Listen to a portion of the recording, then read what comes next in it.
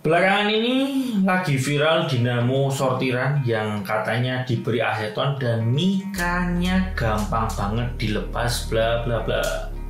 Tapi tahu nggak kalau kalian itu sebenarnya dinamo Tamiya itu immortal guys. Oke langsung aja kita akan bahas di video kali ini.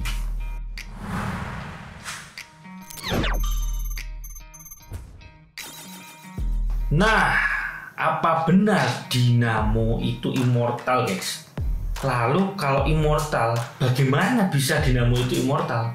Nah, buat yang belum tahu sebenarnya ada cara untuk mereparasi dinamo yang mati akibat bras atau tembaga yang menghubungkan dinamo dengan sumber tegangan ini putus sehingga dinamo bisa hidup kembali dan digunakan seperti sebelumnya. Caranya bagaimana? Cukup ganti brush yang putus dengan brush yang baru. Bisa menggunakan brush lena atau brush cepit seperti ini untuk tipe motor tun dan stok motor atau mabuji. Untuk brush batu itu biasanya digunakan untuk tipe motor dash series. Gitu guys.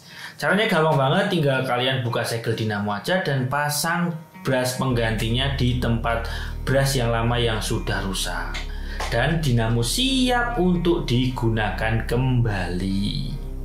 Lalu apakah dinamo itu perlu di breaking ulang?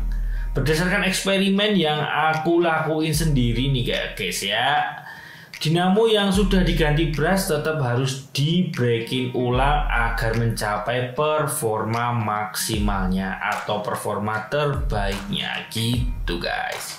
Lalu apa kelebihan dinamo yang sudah diganti brushnya? Yang pertama, tentu kalian tidak perlu ganti dinamo baru alias lebih ngirit guys.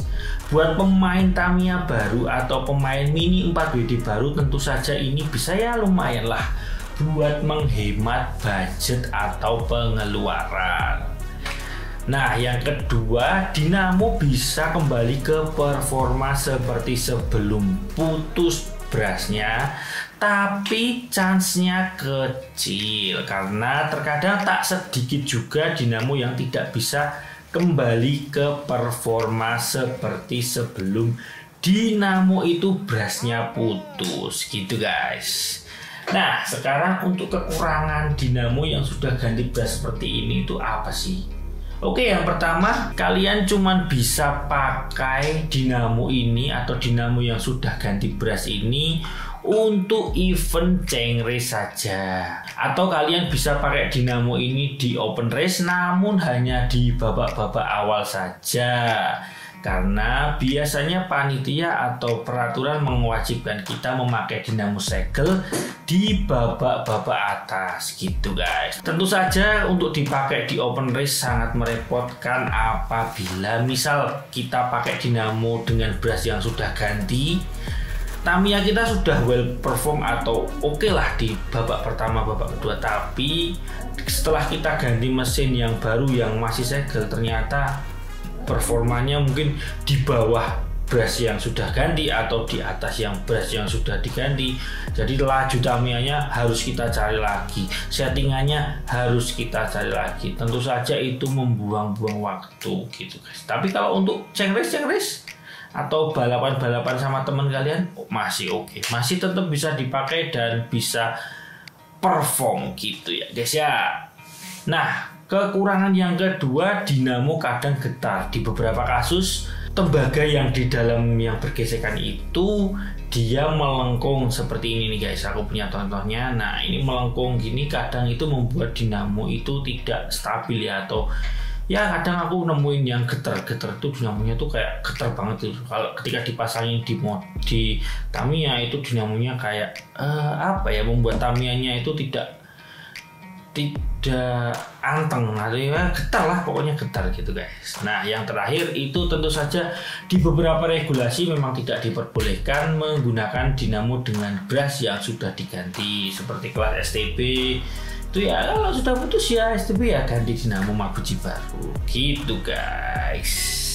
Nah, buat teman-teman yang baru main banget nih, bisa jadi ini jadi alternatif buat kalian. Kalau mungkin dinamo kalian sudah putus berasnya, kalian bisa lakukan cara ini gitu. Dan ya bisa tetap mengirit budget buat kalian yang baru main Tamiya nih atau baru main Mini 4WD semoga ini bermanfaat ya guys ya. Tapi ini tapi nih tapi kalau memang beras uh, bukan karena beras jadi dinamo itu kan uh, bisa mati karena apa aja.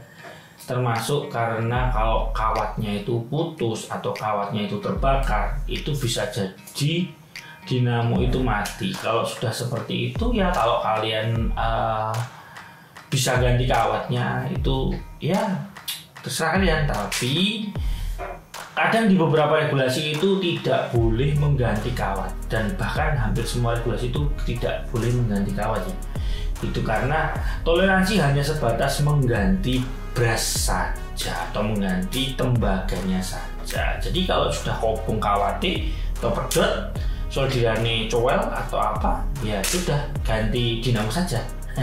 Karena dinamo ya menurutku nggak nggak nggak terlalu mahal sih Dinamo masih dalam toleransi harga wajar lah. Oke. Semoga ini bermanfaat buat kalian yang baru main dan semoga kalian makin lucu di lintasan.